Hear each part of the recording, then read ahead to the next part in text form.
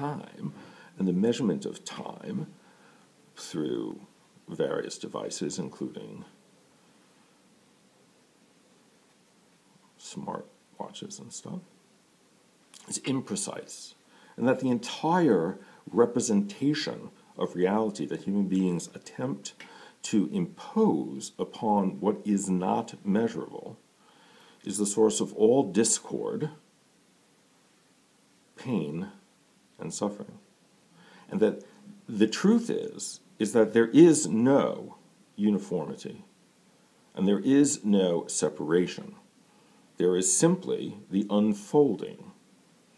We know when it started, we can measure that. We don't know what was before that. We are its creation, and it's, it's constant, it never stops. Now, I have a microphone, but it's not plugged in. It's not.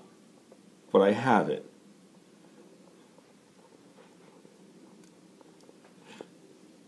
The unfolding wanted it. so I was walking with my wife, and yesterday was my birthday. Uh, I know you missed it, it doesn't matter, it's yesterday.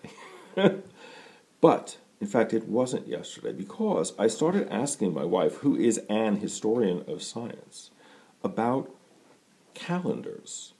You've got the the one with the extra quarter day for what every fourth year you have an extra day except on the except on the on the turn of the century when you don't have it and then I know that there's the Hebrew calendar where they add a day every once in a while. It's called Adar or something like that.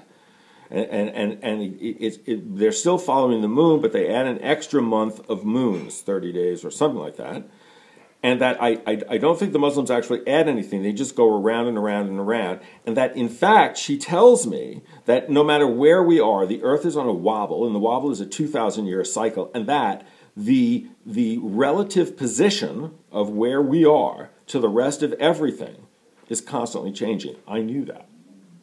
And that is what is real. And to hell, excuse me, with your calendars, because in fact, it is your calendars that put you straight in hell. And one of these days, I'm going to learn how to plug in this microphone. And when that happens, suffering will end. Have a beautiful day. Messiah says over and out. It's been a long time since I've given one of my inspirational speeches, but I needed to do it. I needed to do it. Have a beautiful day.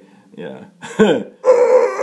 That's some that's some badass soccer, yo. It's bad. that bro, it's some deep soccer.